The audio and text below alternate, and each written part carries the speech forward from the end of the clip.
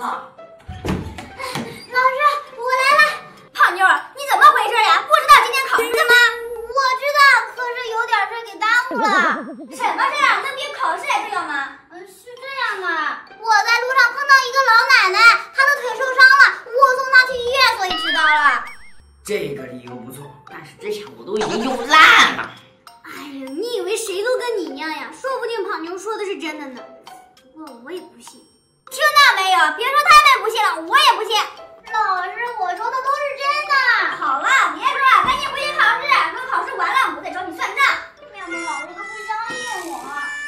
胖妞，你下次也换一个理由啊。对呀，这个理由啊都已经烂大街了。我说的是真的，我没有撒谎啊。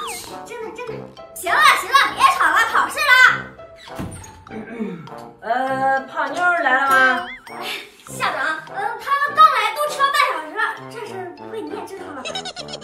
我知道。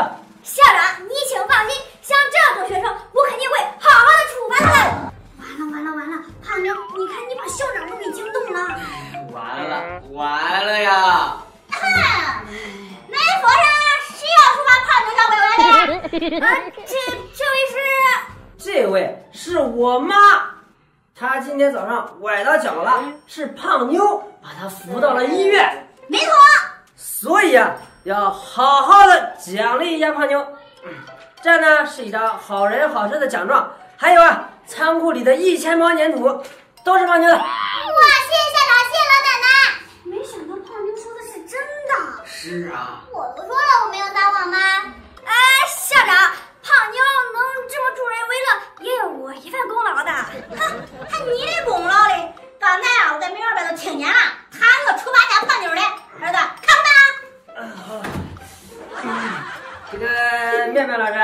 怎么了校长？